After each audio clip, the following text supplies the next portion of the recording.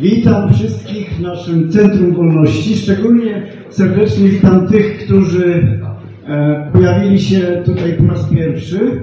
Zrobili ten krok jakby dodatkowy, oprócz tego, co na co dzień robicie. Wierzę, że każdy z Was jest i tak bardzo świadomym człowiekiem, ale przyszliśmy tu po to, żeby stać się jeszcze bardziej świadomymi ludźmi.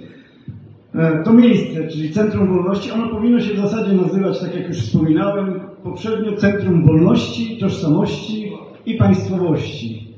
Bo wiadomo, że nie ma wolności bez tożsamości, bez solidnych podstaw, bez przeszłości, bez historii, można powiedzieć bez zasobów człowieka.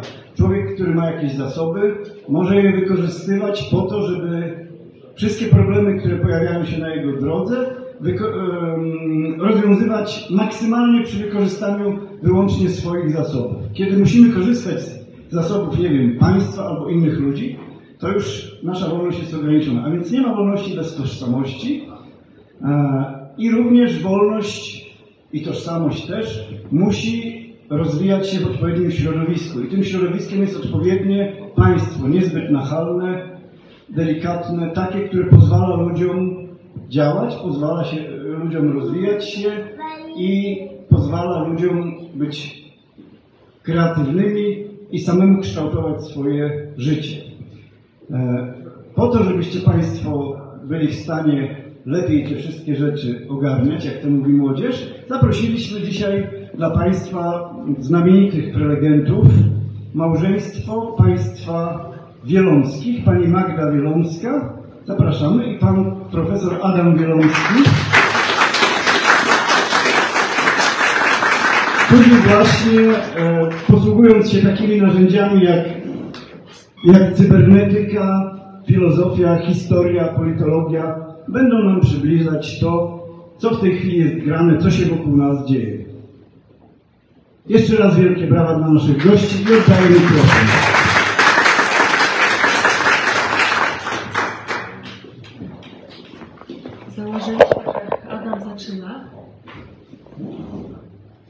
Będę was regulował. Witam, witam Państwa serdecznie. Oczywiście miałem problem, bo uważam, że to moja żona powinna zaczynać, prawda? Tak, no ale mi żona powiedziała, że ja mam zacząć, więc z tego wniosek, że wypadł.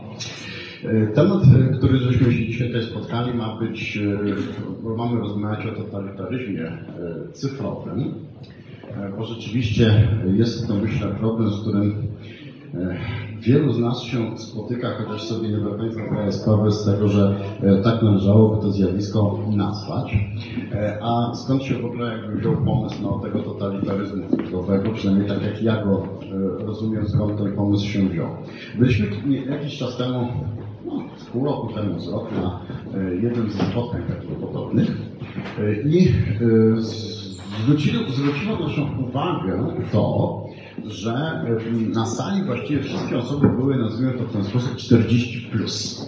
I mimo, że było kilkadziesiąt osób, to nie było nikogo młodszego, tak przynajmniej na oko patrząc, e, poniżej e, czter, e, lat 40. No i zaczęliśmy gdzieś tam na przerwie właśnie o tym problemie rozmawiać z uczestnikami. No i jedna z pań nam powiedziała, że jest taki problem, że ich dzieci czy tam wnuków tego typu problemy, a właściwie żadne problemy nie interesują, ponieważ oni tylko siedzą w tych smartfonach, prawda? I jak to się wyraziła, takie ładne określenie, które zapamiętałem, ładne, przerażające. Właściwie nie ma z nimi kontaktu. Y, Widzę tutaj niektórzy Państwa przytakują, że ten problem jest. Ja zresztą jako wykładowca akademicki też dostrzegam ten problem, że z niektórymi studentami jest pewien kłopot, jeśli chodzi o kontakt. To powiem jako taką anegdotę na y, dzieciakach, że kiedyś uczyłem w jednej ze szkół niepublicznych, y, było to w Sieradzu i pamiętam, że prowadzę wykład i nagle słyszę mu, mu, mu, krowa. Tak patrzę, żadna krowa na sali nie siedzi. No i tak się pytam, co to jest? Chwila ciszy, ale to co chwila mu, mu. No i w pewnym momencie jedna pa, pani tam siedząca, dziewczyna siedząca mówi, przepraszam, ja muszę nakarmić krowę. Tak się Jaką krowę. No bo ja y, gram w taką firmę Farma i muszę karmić krowy. I jak nie karmię krowy, to ona muczy. A, my, a nie może Pani tego na zajęciach na wykład wyłączyć? No właśnie cała gra polega na tym, że nie. No i to jest właśnie, bym powiedział, przejaw e, totalitaryzmu cyfrowego, że cokolwiek by się nie działo, jest krowa, która krzyczy mu i trzeba ją nakarmić. Ja powiem Państwu szczerze, gdybyśmy mieli zajęcia w jakiejś oborze autentycznej i tam pasłyby się te krowy i zaczęły muczeć, to byłoby to dla mnie do zrozumienia. Prawda? No niestety, krowa, żywe stworzenie, muczy, jest głodna. To tak powiem, nie chciałem powiedzieć ludzka sprawa, ale to raczej krowia sprawa, ale w każdym razie coś, co byłoby zgodnego z, naturem, jak, z naturą, jakimś naturalnym porządkiem rzeczy. No ale że elektroniczna krowa mruczy, muczy, prawda, w czasie wykładu gdzieś tam z, z nauk o bezpieczeństwie, to uznano, że to jednak nie jest rzecz absolutnie normalna. E, Ale taka jest prawda, że oczywiście no, żyjemy otoczeni właśnie przez ten świat y, cyfrowy i część z nas bardzo głęboko w ten, w ten świat cyfrowy została wciągnięta. No i właściwie można powiedzieć, że więcej, przynajmniej psychicznie, czy psychologicznie, więcej tego czasu znajduje się w świecie cyfrowym niż w rzeczywistości. Nie coś tu się dzieje. Aha, mam zadość. Dobrze, dobrze, dobrze. E, W każdym, w każdym razie część z nas rzeczywiście żyje w tym świecie cyfrowym. Ja bym powiedział tak. I e, to, że ktoś żyje w świecie cyfrowym, to właściwie można powiedzieć, że dokonał pewnego odwrócenia porządku. Dlaczego? Dlatego, że tak mi się przynajmniej wydaje, że żyjemy w świecie realnym i fizycznym i od czasu do czasu, dla zabawy, spotkania się z kimś na czacie, wymiany jakichś informacji, spojrzenia, co, co się tam dzieje w świecie, można sobie na chwilę wejść w świat cyfrowy, po to, żeby, że tak powiem, potraktować to zamiast telefonu, telewizora czy coś w tym rodzaju. Jest to dla mnie również zrozumiałe. Sam również mam telefon i sam również do niego zaglądam. Problem polega e, na tym, że e, następuje, bym powiedział, odwrócenie tego i świat cyfrowy staje się dla e, wielu z nas pierwszym, że tak powiem, głównym miejscem funkcjonowania, a w świecie rzeczywistym to już tylko niektórzy wpadają w ten świat rzeczywisty, prawda? Żyjąc realnie w innym świecie i w innej rzeczywistości.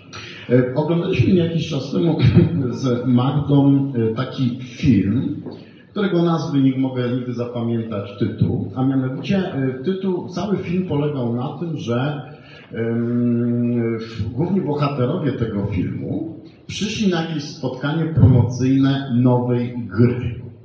I ta nowa gra polegała. Existence, tak, Existence, ten film się nazywa. I ten, cała gra polegała na tym, że każdy wszczepiał, wszczepiał sobie tam do jakiego, do, nie do mózgu, tylko gdzieś tam przez rdzeń kręgowy, z tego co pamiętam, e, bioport taki, tak, i dzięki temu mógł uczestniczyć w grze bez telewizora, bez niczego, ponieważ jakby świadomość mu się prze- przełączała, prawda, i funkcjonował w świecie gry. I półtorej godziny oglądamy sobie ludzi bytujących w tym świecie gry i, że bawimy się razem z nimi, ponieważ jesteśmy przekonani, że jest to świat gry.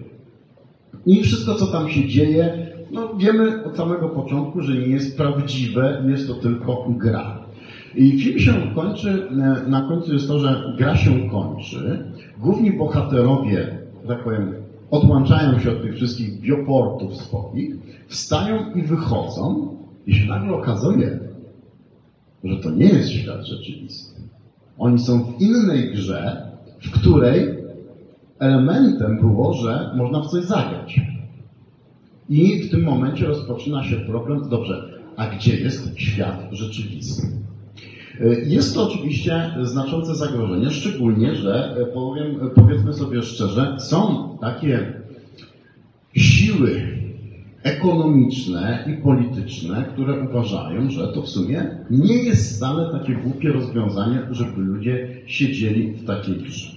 E, Napisałem teraz i opublikowałem 10 dni temu e, książeczkę pod, o Yuval Noah Harari, Grabarz człowieczeństwa. Jest to izraelski e, autor, e, który jest e, niezwykle mocno wychwalany przez e, takich, prawda, zamożnych i wpływowych, zamożnych i wpływowych ludzi jak Bill Gates e, z Microsoftu, jak e, e, Mark Zuckerberg, właściciel e, Facebooka, e, czy też no, zapraszany ostatnio przez e, Klausa Schwaba na Światowe Forum Ekonomiczne do Davos, właśnie ten Yuval Noah Harari. E, I Harari bardzo chętnie prowadzi takie futurystyczne rozważania, jak będzie wyglądał świat e, przyszłości. I ten świat przyszłości będzie światem gry. Dlaczego? Dlatego, że podstawowym problemem, twierdzi Harari, znaczy świat ma ileś tam problemów, ale jednym z tych problemów jest nadmierna liczba ludzi, nadmierne wydzielanie CO2, prawda, walka o klimat. Wszyscy, prawda, wiemy o co chodzi.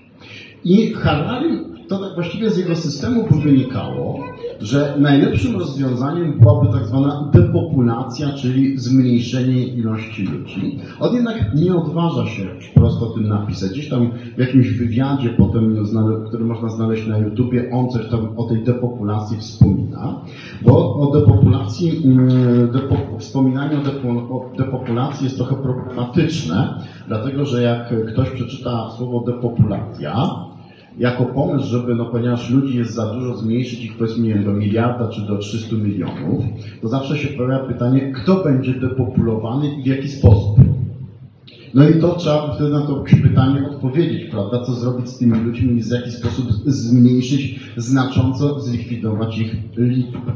Dlatego też jakby tego, tego nie ma, ale tam się zaczynają, tak powiem, całe rozważania, w jaki sposób zlikwidować ten problem tych, tego nadmiaru ludzi, którzy wydzielają nadmiernie CO2, którzy zanieczyszczają środowisko jeżdżąc samolotami, e, podróżując samolotami, samochodami, pociągami, prawda, czy czymś tam innym. No i e, Harari w pewnym momencie stwierdza, że właściwie jest na to jedno bardzo proste rozwiązanie. To znaczy, rozwiązanie najprostsze jest takie, żebyśmy zaczęli uczestniczyć w takiej właśnie grze, jak w tym filmie Existence, o którym mówiłem. To znaczy, każdy z nas będzie sobie, mając wszczepionego chipa w głowie, mógł się w każdej chwili przełączać do gry. W tej grze, ponieważ to będzie gra, wszyscy będą mieli po chipie w głowie. E, Gdybyście Państwo pytali, w jaki sposób ludzi zachęcić do tego chipa, to Harari też ma odpowiedź, zresztą Klaus Schwab również tej odpowiedzi udziela. E, Wszyscy Państwo pewnie dbacie o zdrowie. Tak. I każdy człowiek zawsze się boi tego, żeby nie dostał jakichś nagłych, nagłych, nie wiem, udarów, zawału czy czegoś, prawda? Każdy z nas chciałby wiedzieć, na przykład, że jak się zbliża zawał, żeby 24 godziny wcześniej lampka się zapaliła, że stan przed zawałem. I Klaus Schwab i e, Yuval Noah Harari mówią, że jest na to prosty sposób.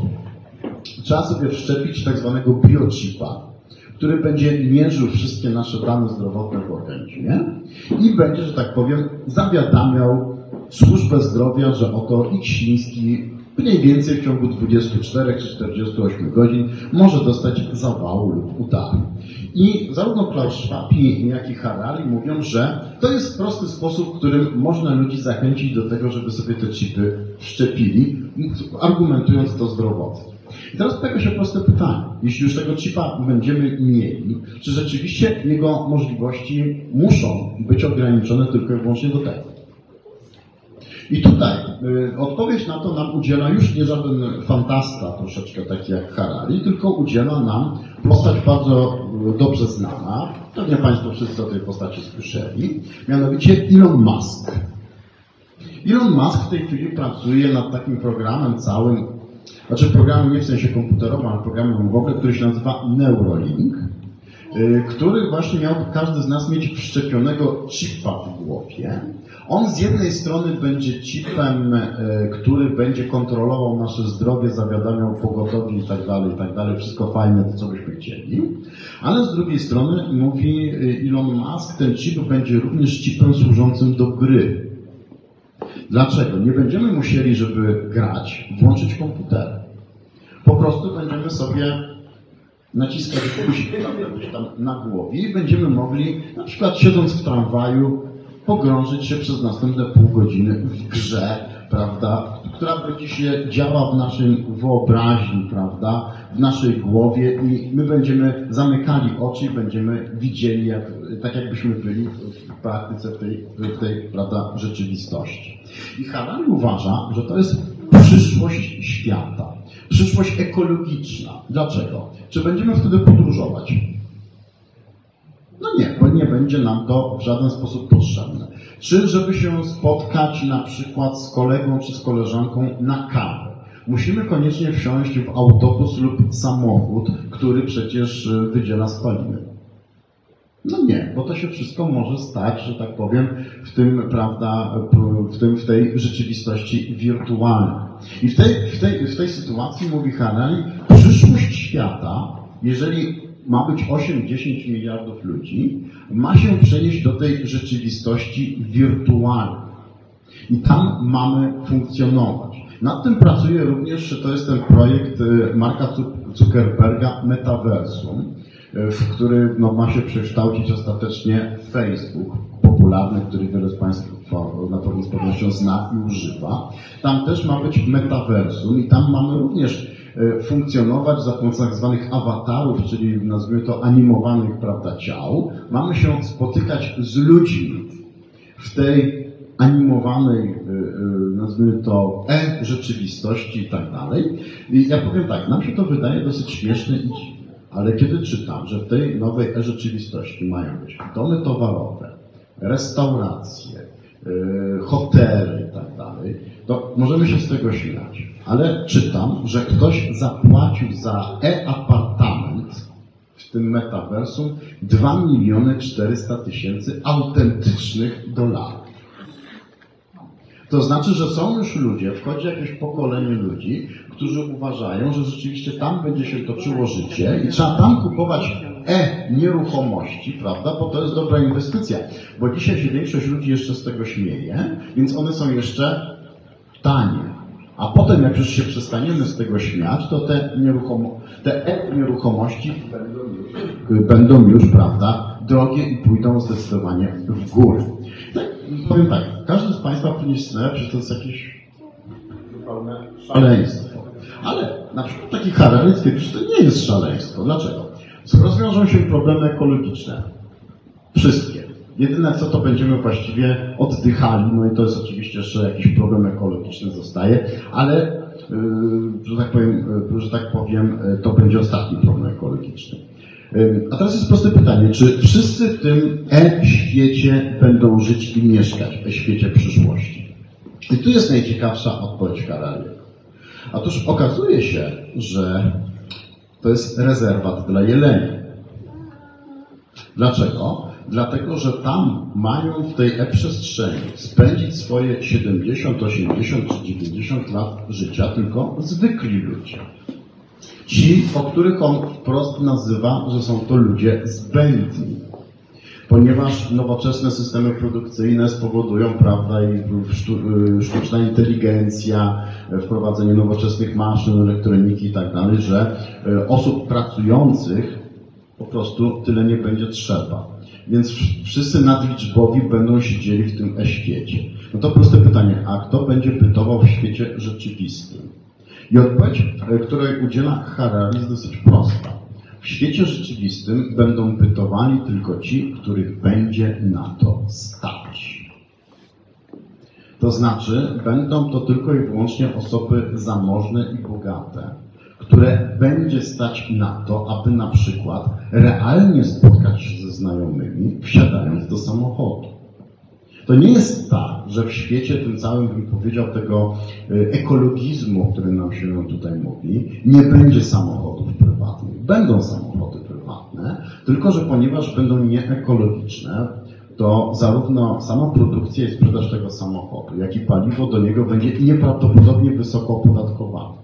I przeciętnego zjadacza chleba ze współczesnej klasy średniej, nazwijmy to w ten sposób, nie będzie stać na ten samochód i na użytkowanie tego samochodu. Więc mu się powie, że słuchaj, nie stać cię na samochód, no to przecież możesz sobie kupić e-samochód i użytkować go w e-przestrzeni i tam pojechać do e-znajomych, prawda, którzy również będą w ten sposób funkcjonowali.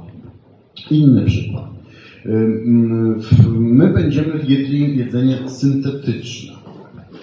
Dlatego, że jak wiadomo, największym zagrożeniem, nie wiem, czy Państwo sobie z tego, jak wiadomo, nie wiem, czy Państwo sobie z tego zdajecie sprawę, największym zagrożeniem dla ekologii jest krowa. Krowa wydziela około 300 kg rocznie CO2 i innych substancji powodujących ocieplenie klimatu. Każda krowa 300 kg. Y, Czy można coś z tym fantem zrobić? Bill Gates już Państwu odpowie, że można zrobić. Bill Gates zainwestował kilkadziesiąt milionów dolarów w taką firmę, firmę która się nazywa Memphis Meat, czyli mm, mięso z Memphis. No, to jest miejsce, miejsce, miejsce takie, mm, bym powiedział, ze starożytnego Egiptu święte, tak? Y, I co oni tam robią? A mianowicie y, prowadzą tam w tej chwili takie badania, czy mięso można hodować sztucznie. W jaki sposób można hodować mięso sztucznie? Wziąć kilka komórek mięsnych, autentycznych żywych i następnie stworzyć warunki sztuczne, cieplarniane, że tak powiem, żeby to mięso narastała liczba tych komórek, żeby się one rozmnażały, można tak powiedzieć trochę żartem, bezpośrednio na talerzu. Czyli wkładam kilka komórek i żebym po pół roku miał z tego e, kotleta. Okazuje się, że to jest możliwe. Na czym polega problem? Problem polega na tym, że wyhodowanie tradycyjnej krowy jest kilkadziesiąt razy e, tańsze w stosunku do tegoż mięsa. Tylko, że ta krowa co roku wydziela 300 kg CO2 i różnych substancji pochodnych. E, W związku z czym pojawia się pytanie, dla kogo oni hodują to mięso? W tej chwili y, firma Memphis Meat udało jej się obniżyć, z tego co pamiętam, cenę hodowli takiego mięsa pierwotnej z 3000 dolarów za kilogram do 1500. Prace dalej trwają i generalnie ma ta cena zejść na tyle, żeby y, klasa średnia współczesna była w stanie 2-3 razy w tygodniu takie mięso zjeść. I teraz się pojawia pytanie, a czy to oznacza, że normalnych krów nie będzie? Będą, proszę Państwa, tylko znów będzie to samo, co z samochodami. Posiadanie i hodowanie takiej krowy będzie tak wysoko opodatkowane i sprzedaż mięsa takiej krowy będzie tak wysoko opodatkowane, że praktycznie nikogo normalnego nie będzie na to stać. Czyli dla zwykłych ludzi będzie, że tak powiem, mięso hodowane sztucznie i mięso rzeczywiste będzie tylko i wyłącznie dla najbogatszych. Ja razem znów z Martą oglądaliśmy ostatnio taki serial, bo my sobie oglądamy właśnie, ostatnio zaczęliśmy oglądać filmy science fiction, szczególnie produkowane przez Amazona, dlatego że Amazon i Jeff Bezos, właściwie Amazona jest bardzo mocno w te projekty, bym powiedział, wciągnięty. Yy, I oglądając tam taki serial, była tam taka scena, kiedy bohaterowie tego serialu pierwszy raz w życiu jedli autentyczne mięso. Nie jakieś tam sztuczne, tylko autentyczne mięso. I zachwyca się, że jest lepsze niż takie, które do tej pory y, syntetycznie jakoś tam hodowane i produkowane jedli. Czyli się okazuje, że to wszystko znowu będzie, ale będzie tylko i wyłącznie dla tych najbardziej zamożnych.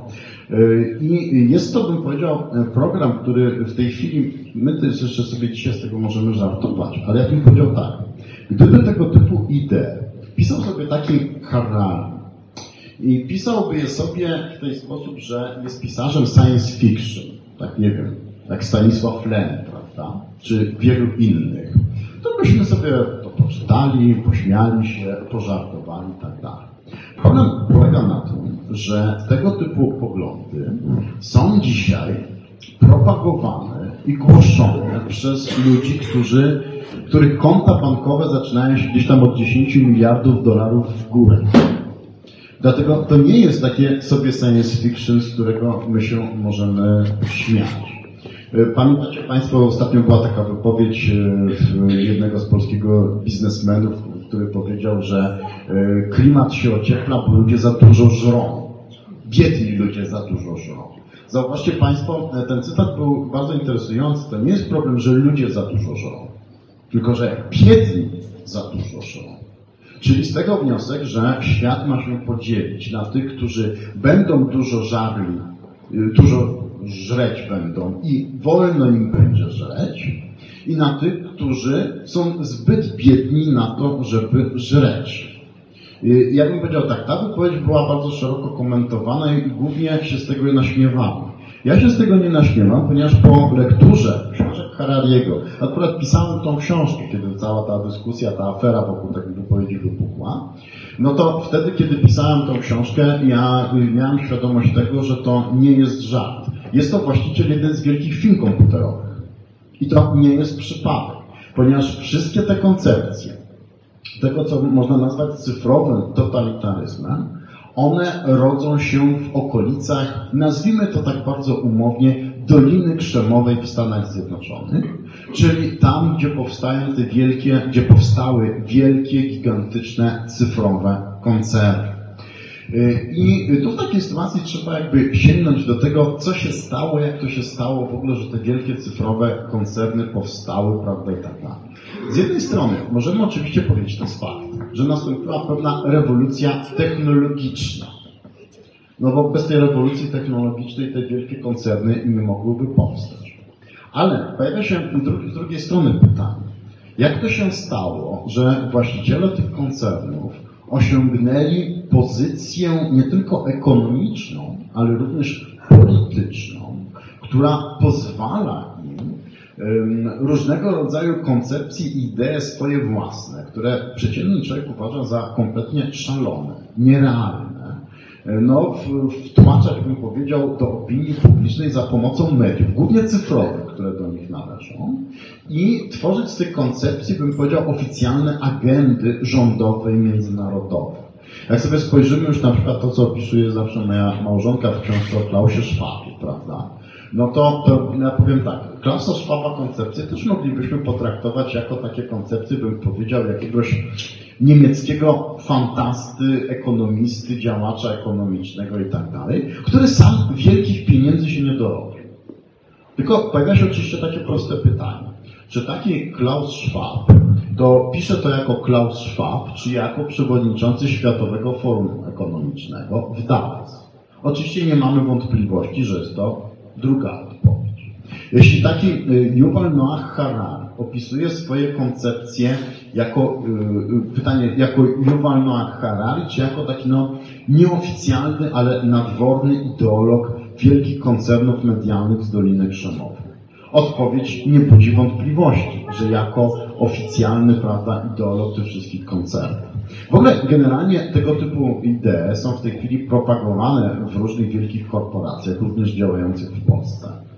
Kiedy zaczynałem, kiedy zaczynałem pisać tę książkę, koleżanka mi powiedziała, że w niektórych korporacjach książki Harariego są znaczy, że w niektórych korporacjach pracownicy raz na jakiś czas dostają maile od pracodawców swoich, od władz korporacji, jakie książki wypada znać i czytać, żeby w towarzystwie korporacyjnym nie wyjść na nieoczytanego głupka. No i się okazuje, że pośród książek polecanych jest, są książki Harariego. Tydzień temu byliśmy, no półtora tygodnia temu, byliśmy w Krakowie na podobnej imprezie, no i tam y, jedna z pani powiedziała, że to już jest, że tak powiem, y, wariant passé. U niej w korporacji jest inaczej. To znaczy najlepsi pracownicy korporacji otrzymują w prezencie od firmy książki Harariego. Także widzimy, że jest to, bym powiedział, nacisk idący od góry, żeby tego typu idei, tego typu koncepcje upowszechniać i rozpowszechniać. Skąd się w ogóle to wszystko wzięło? Na to odpowiadam w swojej drugiej książce, Sojusz ekstremów w epoce globalizacji, jak neoliberałowie i neomarksiści budują nam nowy świat. A mianowicie opowiadam, no ja nie opowiadam o rewolucji technologicznej, która umoż- umożliwiła powstanie cyfrowych korporacji, bo powiedzmy tam, no, nie będę twierdził, że jestem od specjalistą od e, digitalizacji, prawda, wszystkiego i tak dalej, bo nie jestem. Ale w każdym razie prześledziłem sobie proces, w jaki sposób to wszystko powstało i powstawało. Proces- jest bardzo, że tak powiem, zjawisko było bardzo proste. Mamy lata 80., bo wtedy to zjawisko się zaczęło. W latach 60. i 70., a szczególnie w 70., e, świat zachodni przechodził, taki bym powiedział, okres stagnacji gospodarczej. Była związana z wieloma powodami, zaczynając od kryzysu naftowego i wzrostu cen ropy naftowej, zaczynając, kończąc po politykę ekonomiczną rządów i tak dalej. W każdym razie był taki dłuższy okres y, przez ekonomistów z, często zwany mianem zmarnowanej, zmarnowanej dekady. To znaczy dekady, kiedy wzrost gospodarczy państw zachodnich, no tam niewiele od zera, y, prawda, y, wzwyż podskoczył. I wtedy, w latach 80., y, amerykańskie korporacje, rosnące w siłę, powoli się powiększające, zaczęły się zastanawiać no, nad wyjściem z tej zmarnowanej dekady y, i y, zaproponowano wtedy, aby wielkie korporacje zaczęły popierać grupę ekonomistów, których potem określono mianem neoliberalnych. Y, I cóż, cóż ci ekonomiści takiego głosili? A mianowicie twierdzili, że główne przyczyny kryzysu gospodarczego, czy właściwie tej stagnacji gospodarczej, wynikają z nadmiernej interwencji państwowej. Co zresztą, powiedzmy sobie szczerze, nie jest tak, że mieli racji. No tak rzeczywiście, to był oczywiście jeden z powodów, no niektóre powody były bardziej obiektywne, no między innymi ten kryzys naftowy i nagły wzrost y, cen ropy naftowej, co się przełożyło na wzrost cen, zahamowanie, prawda, gospodarcze. W Polsce pewnie zaczynamy właśnie oglądać bardzo podobne prawda, zjawisko. Mam nadzieję, że nie skończy się zmarnowaną dekadą. W każdym razie, w każdym razie rozpoczęli ci liberalni ekonomiści wtedy głoszenie takiej tezy, że państwo powinno wycofać się z regulacji wielu, wielu sfer życia społeczno-ekonomicznego. Też można powiedzieć, że sama idea nie była zła.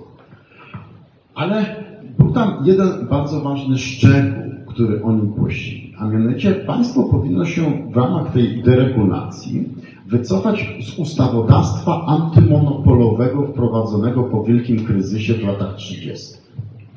E, Innymi słowy, państwo powinno pozwolić, aby wielkie korporacje rosły jak na drożdżach.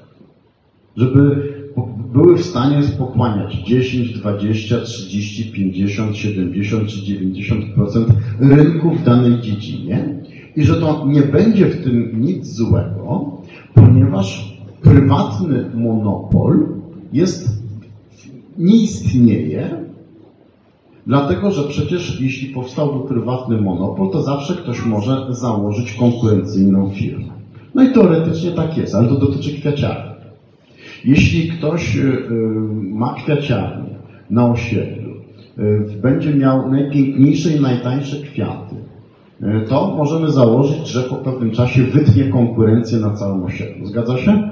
Tak, inne kwiaciarnie padną, jest to normalne. No już pięć ulic dalej pewnie nie padną, dlatego że się ludziom nie będzie opłaciło taki kawał iść po kwiaty, prawda, i wolą zapłacić 10 zł więcej, prawda, i, i, i, i specjalnie gdzieś tam do drugiej dzielnicy, do kwiaciarni nie będzie chodził. Y, I teraz tak, jeżeli ta kwiaciarnia po jakimś czasie zacznie podwyższać ceny, a kwiaty będą mniej ładnie, mniej świeże, to rzeczywiście tak jest, że po pewnym czasie wyrośnie konkurencja w postaci kwiaciarni na drugiej ulicy. Rzecz jest w tym, że w wielkim biznesie to tak nie wygląda. Dlaczego? Dlatego, że w wielkim biznesie istnieje poważny problem wejścia w rynek.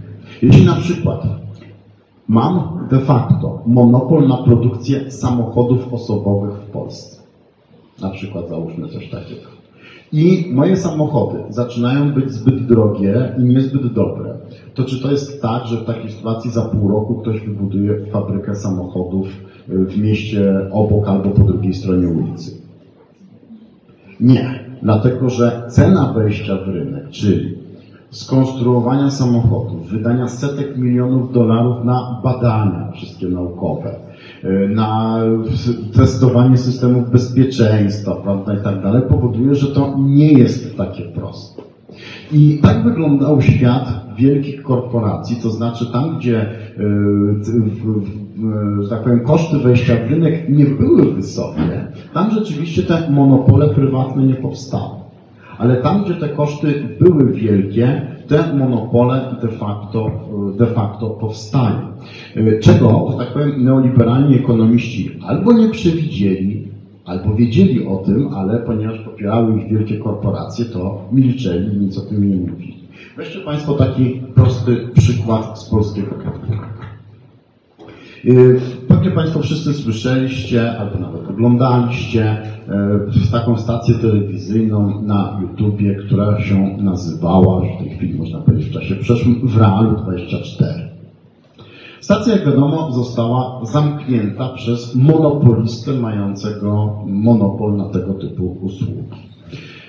Te- Telewizja w Realu 24, przewidując taką sytuację, zaczęła budować jakby taki swój mały konkurencyjny YouTube w postaci Bambaja, który pewnie większość z Państwa również zna. Tylko, że Bambaj posiada pewne ograniczenia związane właśnie z kosztami wejścia w rynek. A mianowicie, no, ileś tam różnych funkcji na YouTubie funkcjonujących nie działa, ponieważ nie ma pieniędzy na to, żeby je, że tak powiem, skonstruować od zera.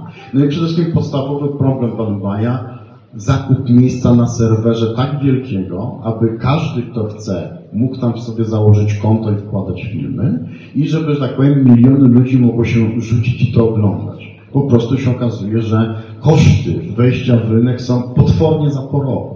Telewizja posiadała kilkaset tysięcy subskrybentów, i mimo to, że tak powiem, koszty wejścia w rynek po to, żeby dla tych ludzi wybudować konkurencję dla y, YouTube'a, okazują się, że tak powiem, bardzo mocno problematyczne. Dlaczego?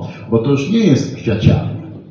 To już trzeba stworzyć wielką firmę i mieć bardzo duży kapitał wejściowy, zakładowy, żeby móc wejść w rynek. A co dopiero na przykład, gdyby Pan chciał prowadzić jakieś badania, prawda, yy, zatrudnić, nie wiem, siedem ekip informatyków, żeby coś robili i robić konkurs, która zrobi to lepiej, bardziej funkcjonalnie. Na pewno ich na to nie stać. Na to stać takiego wielkiego, prawda, cyfrowego de facto monopolistę, bo jest to de facto monopolista. Y, I to są lata 80., kiedy, y, kiedy w- wszystkie te wielkie y, korporacje powstawały dzięki temu, że zostało zlikwidowane w Stanach Zjednoczonych i w Wielkiej Brytanii, a potem w innych krajach ustawodawstwo antymonopolowe. To znaczy y, uznano, że monopol to jest, można powiedzieć, przedefiniowano decyzję, y, definicję monopolu. Monopol jest wtedy, kiedy monopolista jest państwowy i ma państwową gwarancję, że nikt inny nie powstanie w tej dziedzinie rynku. A jeśli jest to prywatny i ma 95% rynku, to to jest prywatna firma i to nie jest monopol. Proste pytanie, a czym to się różni w praktyce? Jeśli koszty wejścia są tak gigantyczne. W praktyce nie różni się niczym. I przed rewolucją ekonomiczną lat 80. było oczywiste, bo to była lekcja z wielkiego kryzysu gospodarczego lat 30., że y, monopol to jest wtedy, kiedy jakaś firma zajmuje na przykład, nie wiem, 30, 40, 50% rynku. I wtedy mamy do czynienia z monopolem. I taki monopol musi być rozbijany poprzez sądy, które nie mogą dopuścić do tego, żeby ktoś zmonopolizował w swoich prywatnych rękach cały rynek, bo jak zmonopolizuje ten rynek, no to co się wtedy stanie? A mianowicie wtedy stanie się naturalna rzecz, to znaczy stanie się monopolistą, który będzie niszczył innych, będzie e, drogi i niefunkcjonalny. I monopole prywatne w tych kwestiach tak naprawdę nie różnią się od monopoli państwowych. Także wtedy się, wtedy się to jakby zaczęło i do tego doszła rewolucja technologiczna w postaci powstania całego tego świata cyfrowego. No i mamy w tej chwili taką sytuację, że państwa, również państwo polskie, są właściwie, można powiedzieć, bezradne w stosunku do wielkich korporacji, szczególnie tych korporacji cyfrowych. Ja pamiętam, w Polsce toczyła się taka dyskusja, czy w Polsce powinny być opodatkowane korporacje cyfrowe. I w Polsce rząd chciał opodatkować korporacje cyfrowe, głównie amerykańskie, znaczy one tak naprawdę są międzynarodowe, tylko gdzieś tam formalnie zakorzenione w Stanach Zjednoczonych. No i ja pamiętam, że przyjechał do yy, Polski wiceprezydent Stanów Zjednoczonych, tak, i była słynna rozmowa, jeśli nie pamiętam, myli, z premierem Morawieckim. To znaczy, y, prezydent Stanów, wiceprezydent Stanów Zjednoczonych występuje gdzieś tam na jakiejś konferencji w mediach i zaczyna swoje wystąpienie, że bardzo chciałem podziękować panu premierowi, prawda, za to, że amerykańskie korporacje cyfrowe nie będą opodatkowane w Polsce. Potem się dowiedzieliśmy, że premier nic nie wiedział, że to powiedział. Polski. Ale nie ośmielił się publicznie powiedzieć, że to panu prezydentowi się coś pomyliło. No, w każdym razie projekt opodatkowania tych wielkich korporacji został natychmiast wycofany gdzieś tam z Ministerstwa Finansów, gdzie takie prace się toczyły. I w ten sposób, i teraz y, y, co to jest? Y, Zwolennicy neoliberalizmu i tego świata wielkich korporacji powiedzą, no wolny rynek. Ale proste pytanie, gdzie tu jest wolny rynek, jeśli jedni są opodatkowani, a inni nie są? I dlaczego nieopodatkowani mają być właśnie ci, których konta bankowe zaczynają się od 40 miliardów dolarów plus? I co, co to ma wspólnego z wolnym rynkiem? Ale to niestety tak wygląda, bo te wielkie korporacje tak działają. To Państwu powiem, mm, znałem kiedyś yy, świętej pamięci profesora Zawiślaka, który był ministrem przekształceń własnościowych w rządzie Jana Krzysztofa Bieleckiego. On się tam specjalnie tym nie chełpił, bo miał świadomość tego, jaki ten rząd był i co zrobił i tak dalej. E, Ale powiedział mi też taką ciekawą anegdotę. Mianowicie, jak był tym ministrem, to przyjechał do niego jakiś amerykański, słannik jakiejś amerykańskiej korporacji, która chciała tutaj w Polsce kupić jakąś fabrykę. No i mówi do niego, że my byśmy bardzo chętnie zainwestowali w tą fabrykę e, i byśmy ją kupili, prawda? No to profesor Zawiślak powiedział tak, no to oczywiście to zrobimy przetarg, prawda? I będziecie Państwo mogli wystartować do przetargu. Ale to bez przetargu. No jak to bez przetargu? No bez przetargu. Ja z Panem załatwię, że kupimy tą fabrykę. Zawiślak mówi, no ale Adam Smith to by powiedział, że to cena rynkowa musi być, to najlepiej się, że tak powiem, na jakiejś, że tak powiem, aukcji sprzedaje taką fabrykę. Nie, nie, nie, nie, nie. Ja, my kupimy bezpośrednio, bez przetargu. Ale po chwili się okazało, że to nie jest y, koniec, że tak powiem, dziwnej rozmowy. Mm, My byśmy tą fabrykę kupili, ale tam chcemy, już nie pamiętam, na 5 czy na 7 lat zwolnienie ze wszystkich podatków. I profesor Zawiślak mi tak, ja mu mówię tak, no ale jeśli Państwo będziecie mieli fabrykę kupioną i przez tam 5 czy 7 lat nie płacicie podatków, a inne firmy polskie płacą, to znaczy, że Wasza firma będzie, y, będzie uprzywilejowana. Mówi tak. Mówi tak, nie wiedziałem co mu powiedzieć, więc mu użyłem ostatecznego argumentu liberalnego. Przecież Adam Smith by powiedział, że tak być nie może. I wtedy ten Amerykanin tak się spojrzał, ale to będzie Adam Smith. Ale jak będzie, jak wy będziecie mieli przywilej przez tam 5 lat, nie płacicie podatków, a inni płacą? No tak, my nie będziemy płacili przez 5 lat podatków, inni będą płacić, a tak w ogóle to będzie działał wolny rynek, niewidzialna wolna rę- rę- ręka rynku, Adam Smith. Tak. I teraz Państwo sobie wyobraźcie, żebyście chcieli e, podobnie kupić fabrykę. Po pierwsze, kto Was wpuści do ministra odpowiedniego? Nikt Was nie wpuści. A jakbyście poszli do ministra, którego wcześniej na oczy nie widzieliście i byście mu rzucili, że chcecie kupić fabrykę, ale przez 5 lat nie będziecie płacili podatków od niej. Z nikim z nas żaden minister w ogóle nie rozmawiał w tej sprawie. A wyobraźcie sobie Państwo, że ta rozmowa się toczyła. Ja myślę, że takich rozmów się dziesiątki i setki toczy. I to jest właśnie ten problem. Jeśli weźmiemy, jak, w jaki sposób to powstało w latach 80., kiedy nie było tego wszystkiego, znaczy zlikwidowano, y, już będę kończył, zlikwidowano, zlikwidowano ustawodawstwo monopolowe i sądy przestały bronić powstawania monopoli rynkowych. Do tego dołożymy wielki proces szabru w latach 90. związanych z tak zwanymi przekształceniami własnościowymi na wschodzie. E, Czytałem ostatnio taką książkę takiego dosyć lewicowego ekonomisty Stiglitza. On był doradcą Billa Clintona. E, To jest taka jego książka, em, chyba wspaniałe lata 90., to się nazywa jakoś tak, e, wspomnieniowa, kiedy on opisuje, że tak powiem, jak wyglądała sytuacja ekonomiczna na świecie z jego perspektywy doradcy Billa Clintona. I on opowiada, jak tak, w latach 80. te wielkie korporacje uwolniły się od ustawodawstwa antymonopolowego. I w latach 90. strasznie pomnożyły swoje zyski. A wiecie Państwo w jaki sposób? Nie poprzez biznes. Pomnożyły swoje zyski dzięki wielkim prywatyzacjom w Rosji i w Europie Środkowo-Wschodniej. Dlaczego? Dlatego, że kupowały za 5-10% wartości firmy. Czyli dawały na przykład korporacja za miliard dolarów kupiła ileś tam firm, prawda? I potem po pół roku, czy tam po roku już mogła sprzedać to za 5-10 miliardów. Czyli w ten sposób zarabiała 1000% bez żadnej, że tak powiem, pracy. Tylko za to, że mieli dostęp do sfer, sfer politycznych, które załatwiały kontakty po to, żeby te kontakty, że tak powiem, przekuć potem na bardzo proste inwestycje.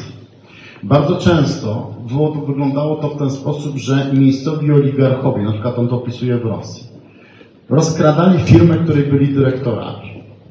I każdy taki oligarcha się woła, a co będzie, jak przyjdzie prokurator? Najprostsze, co było zrobić, sp- sprywatyzować samemu sobie firmę za 10% wartości realnej. Pieniądze się pożyczało z banku od kolegi. Szybko mu się te 10% od razu zwracało, prawda, te, czyli ten wkład, bo sami nie mieli nic, prawda? I następnie co zrobić, żeby prokurator nie wszedł na nas? Odsprzedać za podwójną cenę, czyli jedną piątą realnej wartości tej fabryki zachodniemu inwestorowi. Bo wtedy już się żaden prokurator nie odważał w to wejść. Biorę kasę i wyjeżdżam do Londynu czy gdzieś tam. W ten sposób powstali oligarchowie rosyjscy, szczególnie ci, którzy boją się wrócić do Rosji. Dlatego, że oni w ten sposób stworzyli biznesy. Czyli ostatecznie ten wielki kapitał za 5, 10, 20% kupił wielkie firmy w Europie Środkowo-Wschodniej prywatyzowane i spięciokrotnił, z dziesięciokrotnił swoje aktywy. Prawda? I potem mówi nam ten wielki kapitał wolny rynek. No i ponieważ mieli te wielkie pieniądze, te firmy zainwestowały w coś, co się wtedy wydawało nowe. I było nowe i przełomowe, to znaczy w całą tą technikę cyfrową. Tak. No i w pewnym momencie te, ci najbogatsi ludzie doszli do wniosku, że już zrobiliśmy wielkie pieniądze, już mamy władzę polityczną i wiecie, co nam najbardziej przeszkadza na świecie? Ludzie, bo jest ich za dużo i są nieekologiczni. Więc co z nimi zrobimy? Są dwie wyjścia.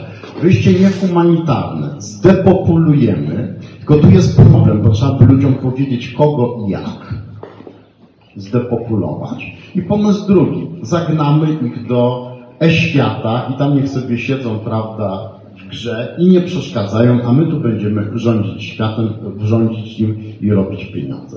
Tu cała rzecz, problem polega na tym, że tu już nie chodzi o władzę polityczną. Tu już chodzi o władzę unicestwiania de facto, no, bo to do wysyłania jakichś rezerwatów e-przestrzeni nadmiaru ludzi, którzy przeszkadzają tym, którzy tym światem realnie rządzą. I powiem tak, jeśli Państwo się zgadzacie na ten świat dla siebie, dla własnych dzieci, wnuków i tak dalej, okej. No ja się na to absolutnie nie zgadzam i dlatego napisałem e, te moje ostatnie e, dwie książki, prawda, na temat zagrożeń związanych z wielkimi korporacjami cyfrowymi. Dziękuję.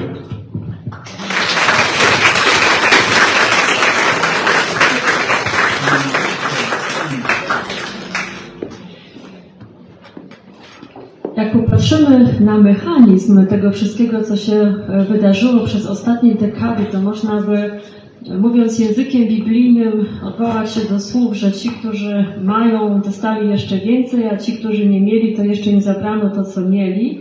A mówiąc językiem cybernetycznym, mieliśmy tutaj do czynienia z klasycznym mechanizmem sprzężeń zwrotnych, czyli właśnie poprzez technologię i efekt sieci Ci, którzy coś mieli, mieli coraz więcej, natomiast ci, którzy nie mieli, to to rzeczywiście mieli coraz mniej. I doszliśmy do takiego momentu, gdzie mamy do czynienia z tym jednym procentem ludzi, który ma tyle własności, co pozostałe 60%. Własność to jedna rzecz, a najbardziej kluczową kwestią jest tutaj technologia.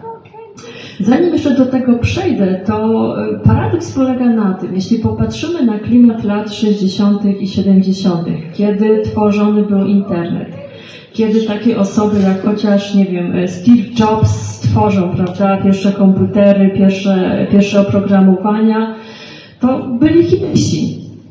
Internet, przynajmniej w tej sferze, nazwijmy to software'owskiej, powstała w dużej mierze w środowisku hipisowskim. To między innymi był ten Instytut Esalen, o którym często wspominamy, gdzie rzeczywiście tworzona była no taka, no kontrkultura można powiedzieć. To tam się rzeczywiście ten cały ruch hipisowski rodził. I jak popatrzymy właśnie na wypowiedzi chociażby Steve'a Jobsa czy innych z tamtego okresu, oni wszyscy mówili o walce właśnie z wielkim kapitałem, o walce e, z wielkim tym amerykańskim przemysłem. Oni generalnie byli, nawet bym powiedziała, trochę anarchistami. Oczywiście pytanie jest takie, co się działo w tle, na ile te wszystkie historie o tych wynalazkach, które powstawały w garażach, na ile to jest prawda, a na ile to jest tylko i wyłącznie mit, a internet prawdopodobnie sam rodził się zupełnie gdzieś indziej. Od początku był związany z tym właśnie całym kompleksem wojskowym CIA i właśnie wielkim kapitałem, który no często tych ludzi, właśnie tych wszystkich Steve Jobsów i tak dalej finansował, y, dzięki czemu oni te technologie tworzyli, zarabiali na tym, ale coś działo się dużo głębiej. No i właśnie na tym polega ten paradoks, prawda? Jak popatrzymy tego Steve'a Jobsa, który gdzieś tam jeździł do Indii, medytował y, w tych Himalajach i, i potem mamy taki świat, w którym te globalne korporacje cyfrowe rzeczywiście mają już władzę totalną. I teraz też jako cybernetyk zawsze muszę sobie zadać pytanie, albo inaczej, spojrzeć na świat z punktu widzenia właśnie tych ludzi, którzy są w tym miejscu, w którym są. Czyli stworzyli coś, puścili w świat i ze względu na efekt sieci dorobili się gigantycznych fortun i mają olbrzymią władzę. No chociażby inny przykład, no Bill Gates i Microsoft. Jest cały ruch, prawda, y, chociażby Linuxa czy innych właśnie open, open source'owych rozwiązań, y, ale większość z nas w to nie wchodzi. Ja też nie też wiem, że powinnam, że, że było lepiej, żeby nie pracować na Microsoftie, nie pracować na Wordzie, nie pracować na tych wszystkich programach, bo ktoś na tym właśnie zarabia, ktoś ściąga dane i się podtrzymuje całą tę strukturę. Ale tego nie robimy. Dlaczego? No bo to jest problem. Poznać Linuxa, jak to działa czy te programy wszystkie będą rzeczywiście kompatybilne, prawda? Ja nie wiem, e, pisząc książki pracuję z takim programem jak, programem jak EndNote, który gromadzi mi całą literaturę, generuje przypisy, generuje bibliografię. Czy to będzie działało na Linuxie? I tu się zaczynają właśnie takie realne problemy. I mówię o tym dlatego, że jakby nie wszystko jest spiskiem nie wszystko wynika, można powiedzieć, z takiej logiki, nazwijmy to spiskowej, że pewna grupa osób siadła i się dogadała i tak to zrobiła. Są rzeczy, które dzieją się może nie do końca automatycznie, ale w świecie techniki ta cała idea tego, żeby te programy były z sobą kompatybilne, żeby urządzenia były z sobą kompatybilne, żebyśmy rzeczywiście mogli się komunikować tymi urządzeniami, ona jest tutaj kluczowa. Więc wygrywa ten, kto potrafi swój produkt narzucić wszystkim, bo jest to wygodne dla wszystkich. Bo każdy, kto w biurze pracuje na Wordzie, wie, że jak dostanie e, dokument tekstowy z jakiegoś innego biura, innej firmy, cokolwiek, który też będzie napisany w Wordzie, to wie, że to jest kompatybilne. I kupujemy Worda, prawda? Bo jest to najprostsze rozwiązanie. Jako cybernetyk właśnie podkreślam to, że są pewne elementy, które dzieją się nie na zasadzie spisku, a na zasadzie właśnie tego mechanizmu sprzężeń zwrotnych, pewnej logiki rozwoju technicznego, e, pewnej logiki właśnie powstawania społeczeństwa masowego, gdzie właśnie ta kompatybilność tych wszystkich rozwiązań, e, wspólne normy, wspólne rozwiązania jest dość kluczowa. I kwestia jest taka, że właśnie ten rozwój tej techniki oparty na tym właśnie efekcie sieci i oczywiście, no, można powiedzieć, e, korporacje, które już mają tę pozycję, mają mechanizmy do tego, żeby jeszcze bardziej narzucać swoje rozwiązania, prawda? Że taki Bill Gates będzie robił wszystko, żeby powiedzmy w szkołach zablokować e, umiejętność pracy na, Linuxie. I żeby powiedzmy dzieci nie uczyły się pracować na Linuxie, to taki Bill Gates będzie szkołom w prezencie dawał darmowe oprogramowanie Microsoftu i Worda, po to, żeby te dzieci od początku się tego uczyły, prawda? On może nawet to sprezentować, ale wie, że to jest jego inwestycja, bo to dziecko potem przez następne kilkadziesiąt lat życia na tym programie już będzie pracować. I teraz jak popatrzymy na to, w jakim punkcie się znajdujemy, rzeczywiście mamy do czynienia z sytuacją, gdzie naprawdę wąskie grono osób posiada monopol technologiczny i posiada kontrolę właśnie sieci po- poprzez te wszystkie globalne korporacje i korzysta z tego efektu skali. Korzysta z efektu skali, ponieważ ma dużo, więc może jeszcze więcej, może przejmować pozostałe firmy, może niszczyć konkurencję, może właśnie inwestować w edukację już na swoich własnych rozwiązaniach. I te, też musimy jakby, albo inaczej, to jest ważna umiejętność, żeby spojrzeć teraz na świat ich oczami. Tak na chwilę się po prostu wczujmy w to. Jesteśmy w, na ich miejscu. Jesteśmy na ich miejscu, mamy te olbrzymie majątki, mamy te, tę technikę i wiemy, że ta technika działa tak, że nam ciągle będzie przybywać, a innym będzie ciągle ubywać. Więc myślimy, co będzie na końcu. No to na końcu będzie tak, że de facto w naszym, w swoim ręku skupimy całą własność, w swoim ręku kupimy technologię, będziemy już w stanie po prostu kupić każdego i wszystko. No i generalnie jest to fajne dla nas, ale to generuje też określone problemy. To jest właśnie ta umiejętność, żeby się nauczyć też myśleć poprzez właśnie oczy tamtych ludzi. Oni też mają swoje problemy do rozwiązania.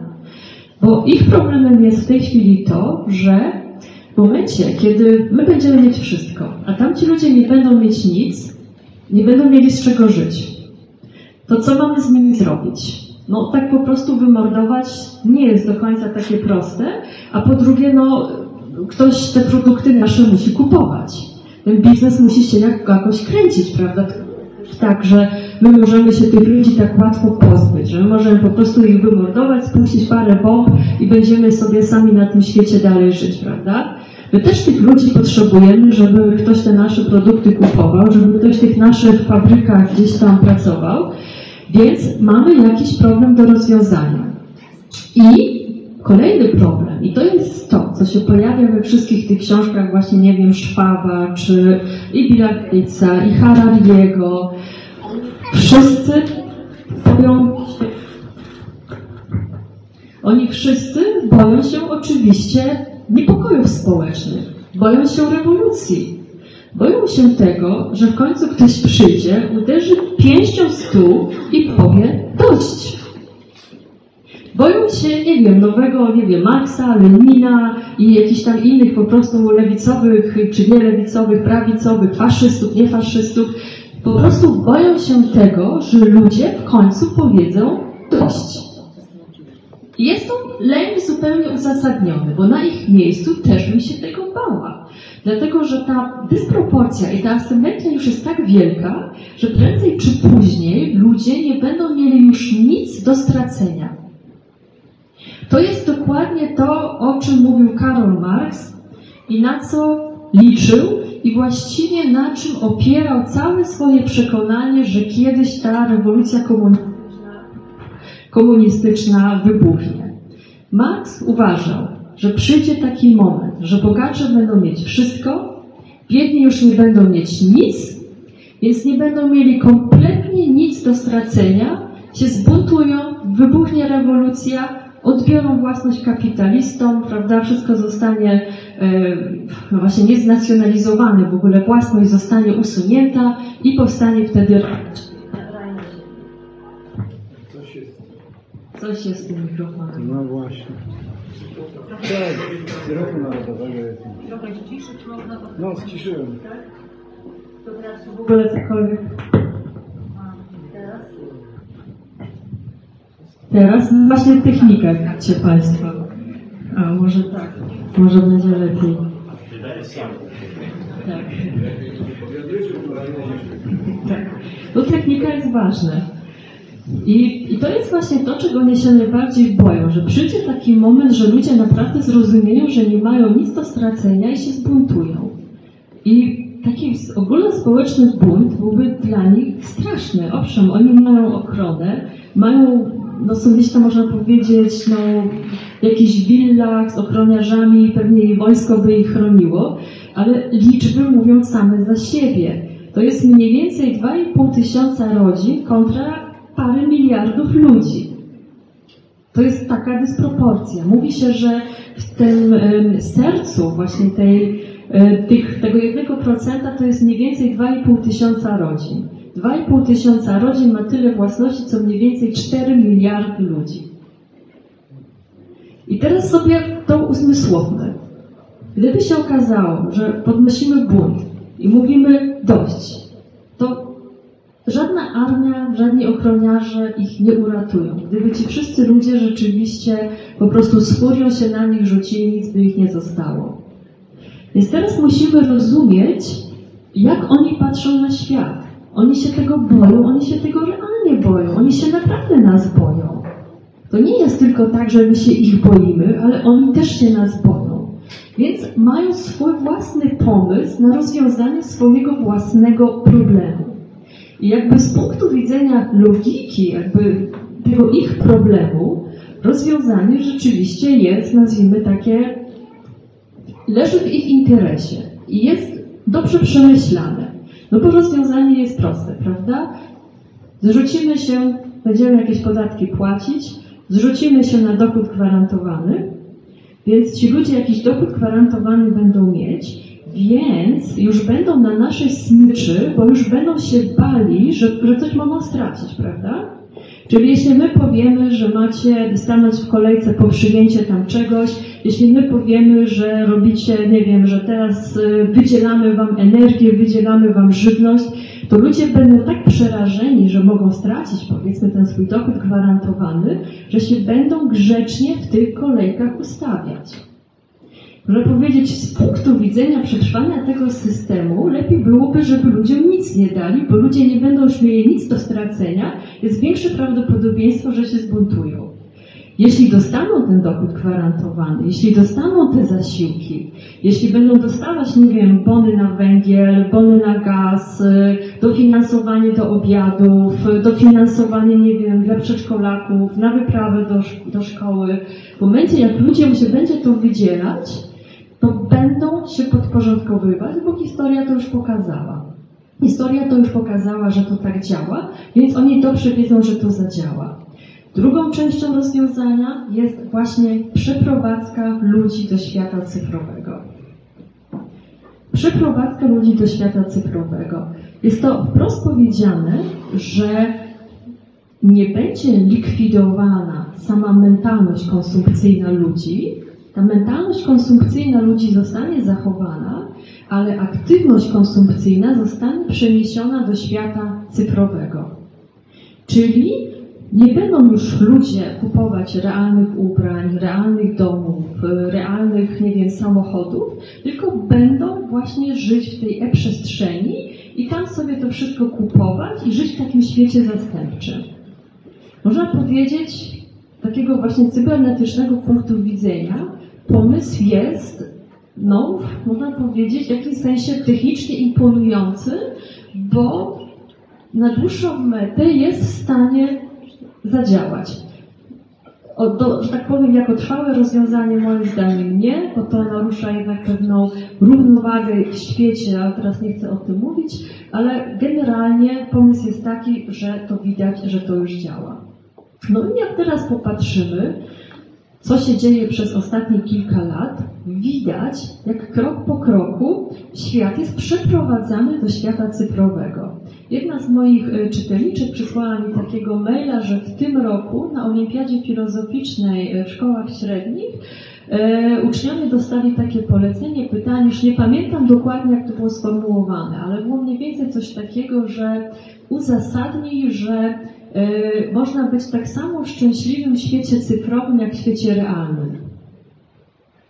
Licealiści dostali na razie takie pytanie filozoficzne, prawda? To jest takie pytanie filozoficzne, ale to już jest pytanie, które już zawiera sugestie. Już zawiera sugestie, że w tym świecie cyfrowym można być tak samo szczęśliwym, jak w tym świecie realnym. I taki młody człowiek już to zasie, już zacznie o tym myśleć i zacznie już dochodzić do wniosku, a właściwie dlaczego nie? Jaka tu jest różnica? Czy my będziemy się spotykać na żywo, czy my się będziemy spotykać tylko i wyłącznie jako awatary? Czy my rzeczywiście będziemy e, kupować te ubrania materialne, czy będziemy się tylko właśnie spotykać e, na tych e-konferencjach, e-imprezach jako awatary z tych e-ubraniach, prawda, markowych, bo to będą te same marki. To będzie dalej Adidas, Nike i, i wszystkie te marki, które znamy teraz w tym świecie realnym, one będą dalej funkcjonowały, ale w tym świecie cyfrowym. I teraz powiedzcie mi, proszę Państwa, właściwie czemu nie? Jaka to jest różnica, czy się spotkamy na żywo właśnie w tych ciuchach, nie wiem, od Adidasa i tak dalej, czy też się spotkamy poprzez właśnie teraz awatary na e-konferencji, e-spotkaniu w tych właśnie cyfrowych ciuchach z tymi cyfrowymi markami. Nie jest to takie proste. Jakby pierwsza myśl jest taka właśnie, no i w gruncie rzeczy, w czym tu jest problem? I w czym tu jest problem? I mój problem polega na tym, że jak teraz patrzę na ten świat e, naukowy, patrzę na świat e, intelektualistów, patrzę na świat e, menedżerów w korporacjach, nie ma w ogóle jakiejkolwiek refleksji i zadania sobie pytania, czy to na pewno jest dobre. Nie ma w ogóle. Ja bym powiedziała, że to jest coś, co mnie w tym wszystkim najbardziej przeraża, ten brak totalnej refleksyjności, tylko przyszło pewne polecenie z góry, przyszła pewna wizja. Ja widzę, jak ona w tym świecie właśnie i politycznym, i w tym świecie korporacyjnym, jak to jest z góry już po prostu sączone, urabiane i jak ci wszyscy decydenci, czy to polityczni, czy naukowi, czy menedżerowie, jak bezmyślnie, bezrefleksyjnie zaczynają to wszystko wdrażać. I tylko liczą, ile na tym zarobią i żeby jakby tą główną, jakby taką sprężynką jest to, żeby nie spóźnić się za konkurencją. To jest patrzenie, a konkurencja już tam zaczyna coś robić, to my teraz nie możemy być gorsi, no bo prześpimy, prześpimy ten moment i wypadniemy z rynku, prawda? A ten rynek zaczyna się tam już tworzyć. Więc ci wszyscy ludzie w takim trochę można powiedzieć amoku, presją pewną też ekonomiczną, idą w to, brną w to, bo też potrzebują wyników, prawda? A jest pewien trend. Ten trend już jest, ten trend już jest absolutnie widoczny, on już jest wdrażany w życie.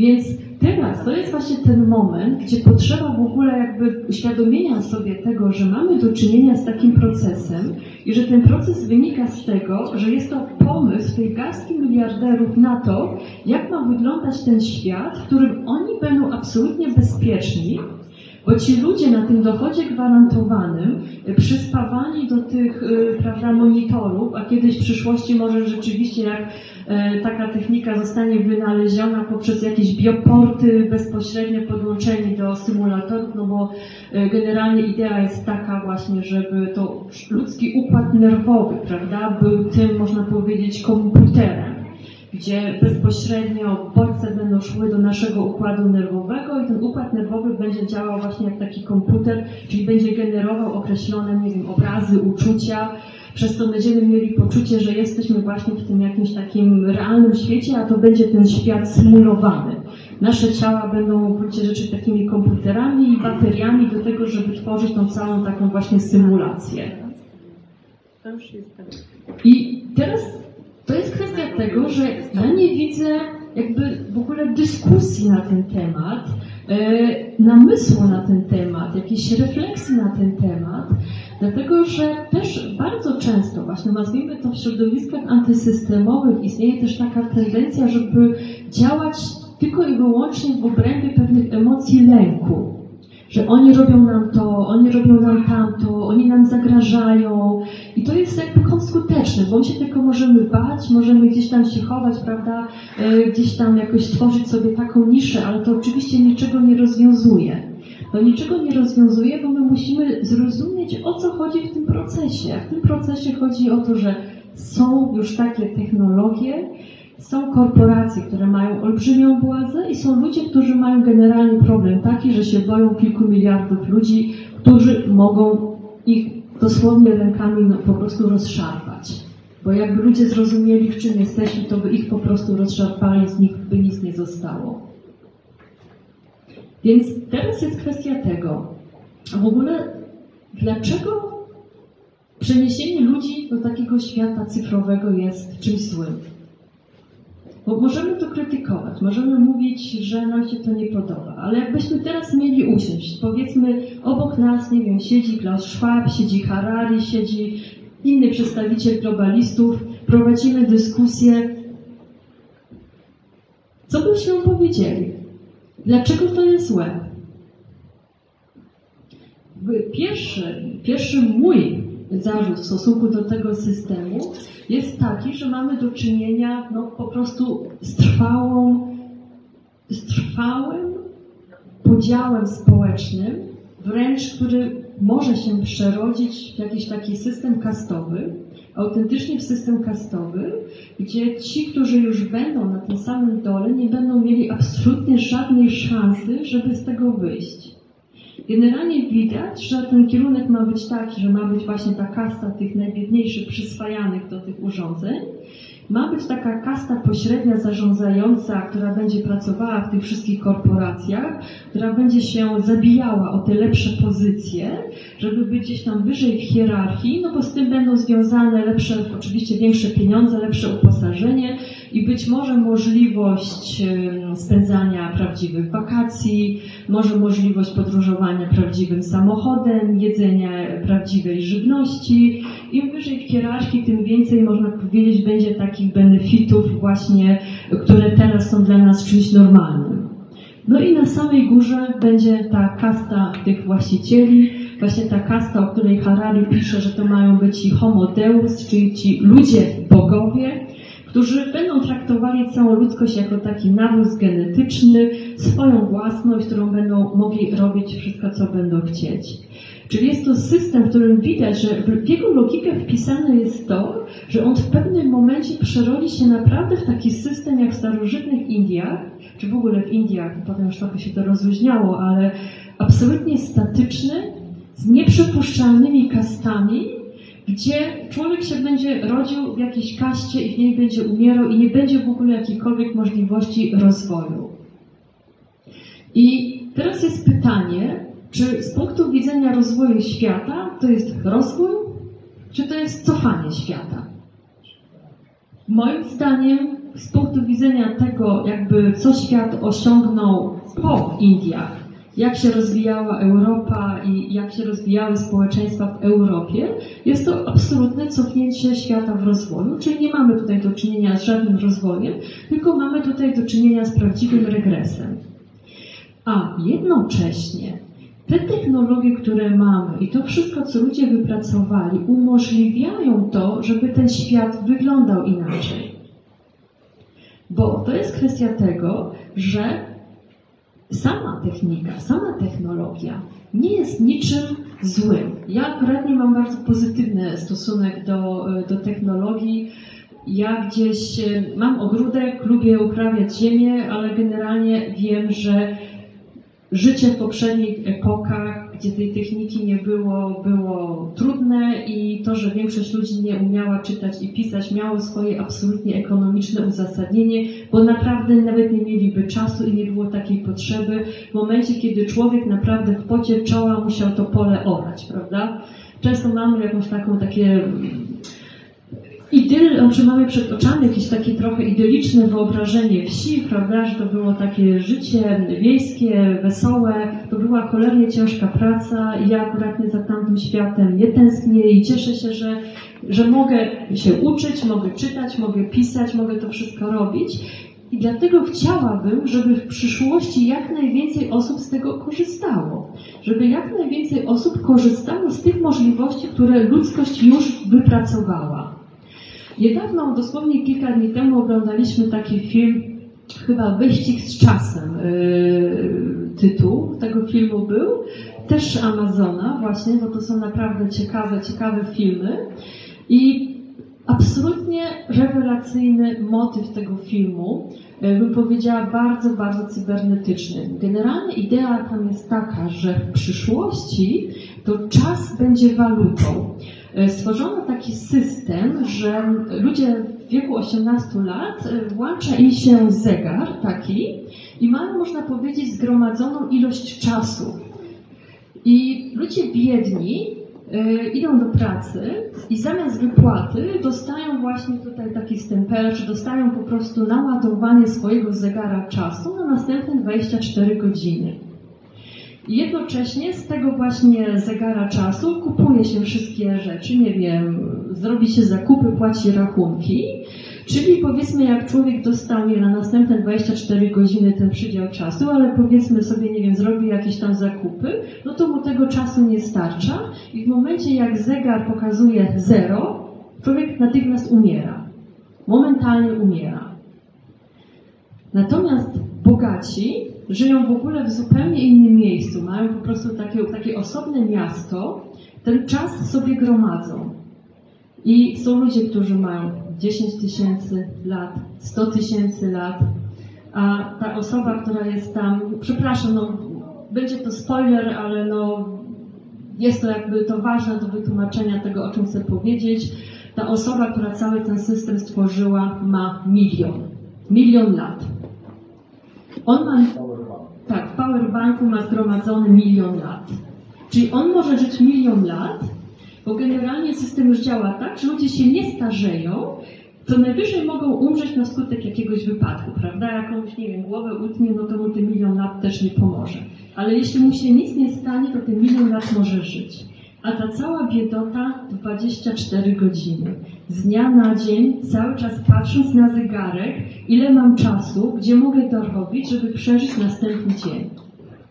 Jest to tak obrazowe pokazanie właśnie tego świata przyszłości, jak ma żyć ten człowiek na dole i jednocześnie pokazanie, że ten, że ten system jest sztuczny, że w tym systemie jest tyle tych, można powiedzieć, lat zgromadzonych, że wszyscy ludzie mogliby mieć, powiedzmy, nie wiem, po te 100 lat.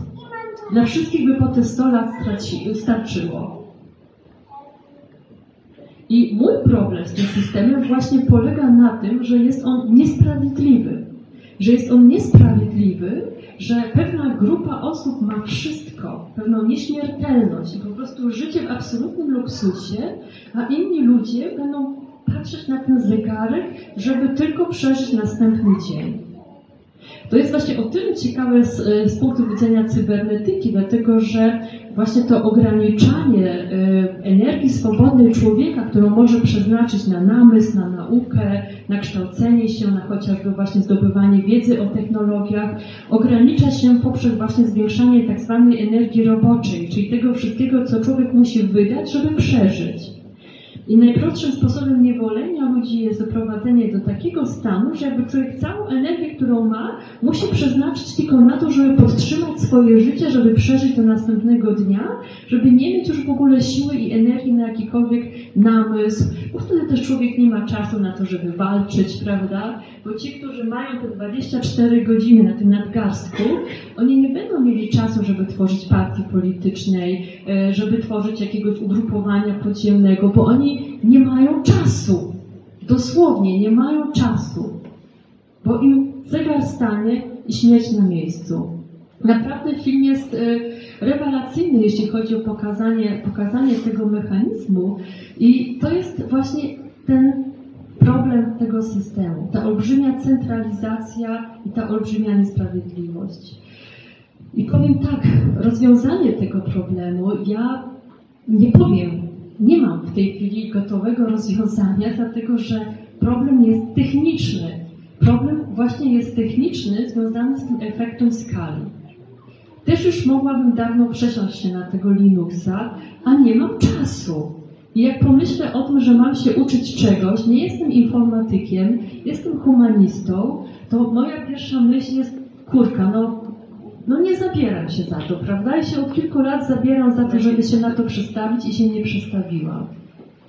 Ale jeśli zaczniemy myśleć o tym w takich kategoriach, zaczniemy mówić o tym problemie i mówić w sposób spokojny, w sposób merytoryczny, pokazując, że tu jest pewien problem, docierając do decydentów, docierając do menedżerów, docierając do naukowców i pokazując, że to nie jest żadna teoria spiskowa, tylko to jest pewien obiektywny, techniczny, ekonomiczny problem, to wtedy jesteśmy w stanie wypracować jakieś rozwiązanie. Oczywiście naszym jakby preferowanym rozwiązaniem to jest przywrócenie silnych państw, państwa, które będą stawiać szlabany na granicach, które będą ograniczać po prostu ten, właśnie tę władzę ekonomiczną tych wielkich korporacji.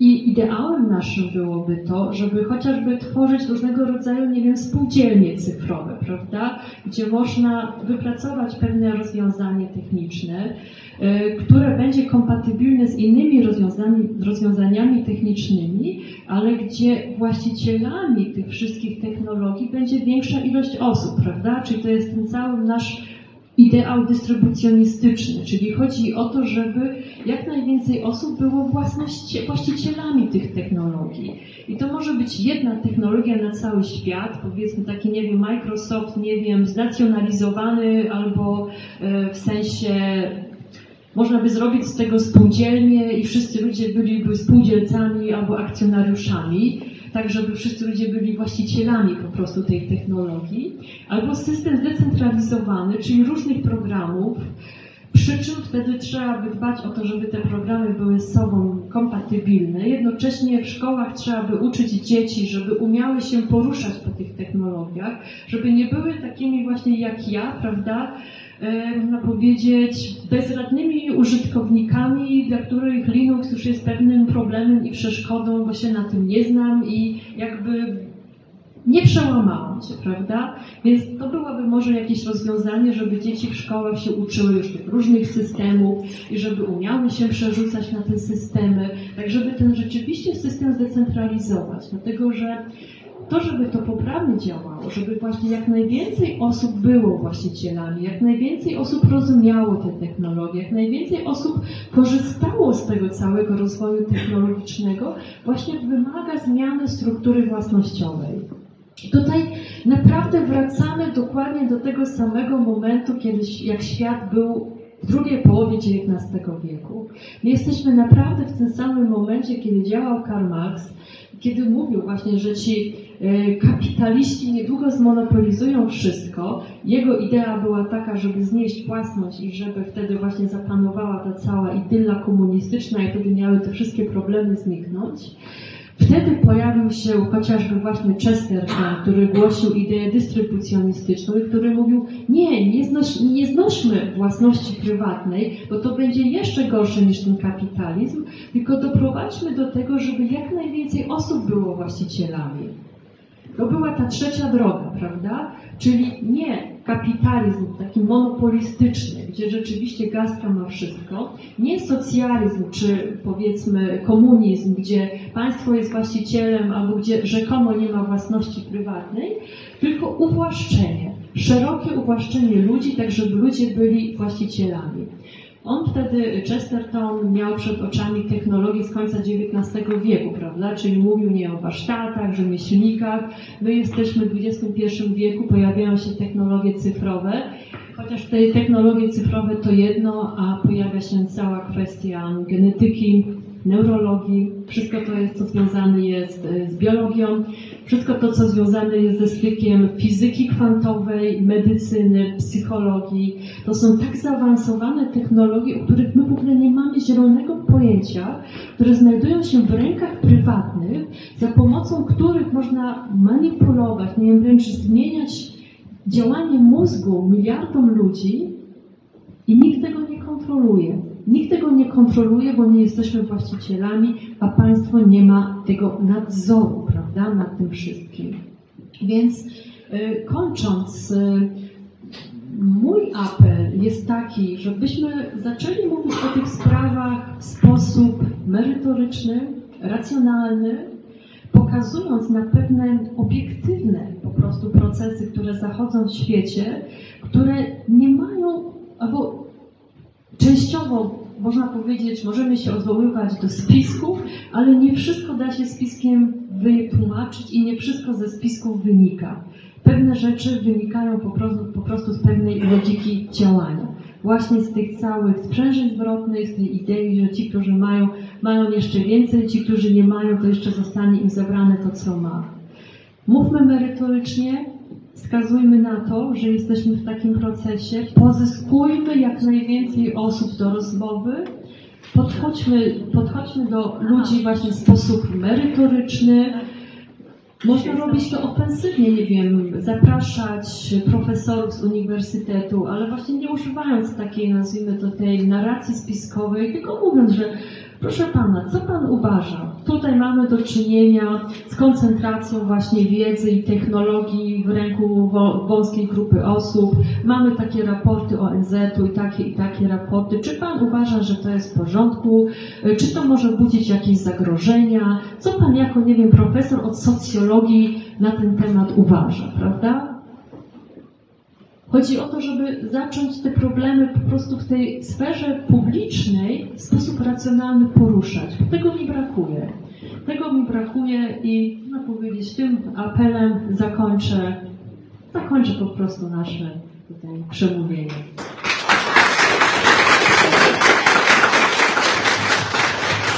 Szanowni Państwo, bardzo dziękujemy naszym prelegentom. E, Teraz będziemy zadawać pytania, jeżeli, w momencie, jeżeli chcecie. E, W tym samym czasie, kto jeszcze nie, nie, mm, nie wrzucił swojego numeru telefonu wraz z samym imieniem, jeżeli chce, to może wypisać i wrzucić do wazonu, dostanie SMS o następnym spotkaniu. Na pewno, jeżeli jakaś spółdzielnia cyfrowa będzie powstawać, to będziecie wiedzieć właśnie dzięki temu, że będziecie wchodzić na nasz profil Centrum Wolności Toruń, tak? Więc jeżeli będziemy chcieli coś w realu zrobić, spotkać się tak jak teraz, gdzie siedzimy człowiek obok człowieka, widzimy, że ktoś na przykład, nie wiem, nie ma przypudrowanego czoła, albo że ma y, coś w oku i tak dalej, a nie tylko przez komunikatory, to jest właśnie okazja do tego, żeby tak robić. Powiem jeszcze jedną rzecz, którą za każdym razem powtarzam. Państwo mi wybaczycie, że zajmę jeszcze dwie minuty. Tak jak tutaj pani e, Magda powiedziała,